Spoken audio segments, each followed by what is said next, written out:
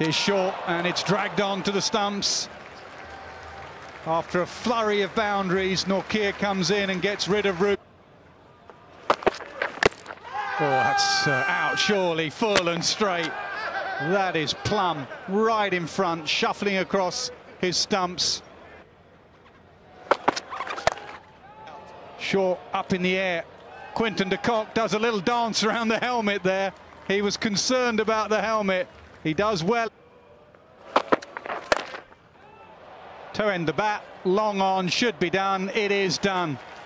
Anrich Nortje ends with four for South Africa end their first international game on this tour with a win.